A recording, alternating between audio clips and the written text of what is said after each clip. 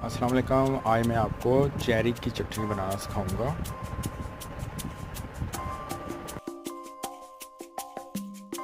सबसे पहले आप 50 ग्राम चेरी लें और इसको पानी में भिगो दें एक घंटे के लिए। इसके बाद हम इसको एक पैन में डालेंगे और इसमें एक कप पानी ऐड कर देंगे।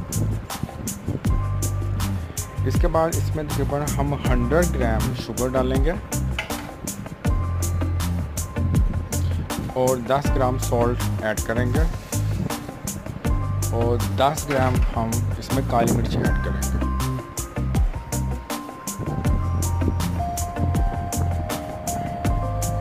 इसमें हम 10 ग्राम अंगूर का विनेगर डालेंगे ग्रेप विनेगर और 10 ग्राम हम इसमें एप्पल साइडर विनेगर ऐड करेंगे। और इसको तकरीबन 15 मिनट के लिए हम पकने के लिए छोड़ देंगे।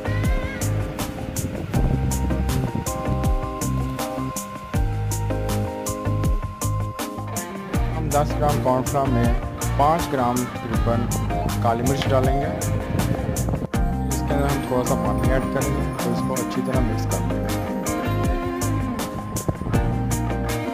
फिर इसको हम जो कॉर्नफ्लावर है, जिसको हमने मिक्स किया है, इसको इस पैन में डालेंगे, जिसमें हम चैरी तैयार कर रहे हैं।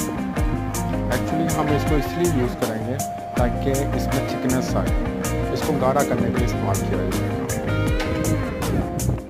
फिर इसको मज़ीद हम पाँच मिनट के लिए पकाएँगे।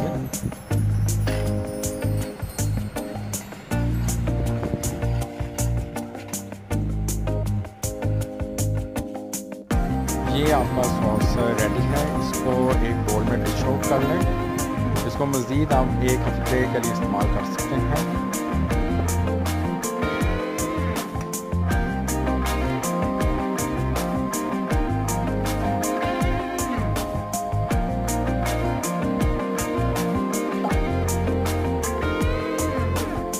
आप किसी भी रोस्ट या किसी भी स्नैक बर्गर वगैरह के साथ इस्तेमाल कर सकते हैं।